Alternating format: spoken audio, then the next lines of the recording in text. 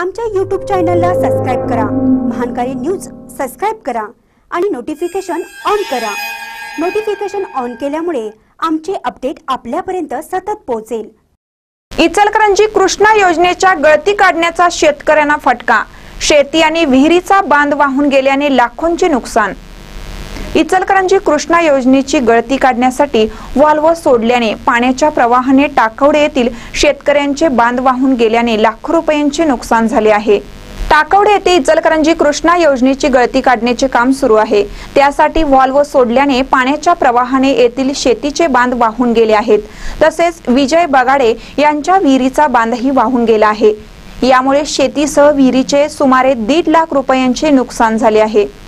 इचलकरंजीच्या कृष्णा योजनेला वारंवार होणाऱ्या गळतीमुळे होणाऱ्या नुकसानीबाबत बगाडे यांनी तोंडी आणि लेखी तक्रार करून देखील दखल घेण्यात येत नव्हती.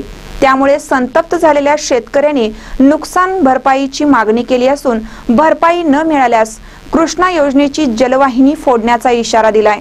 महानकर न्यूजसाठी संदीप इंगळे.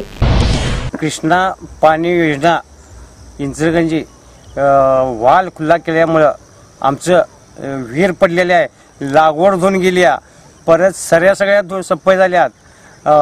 विहीर ढासळल्या.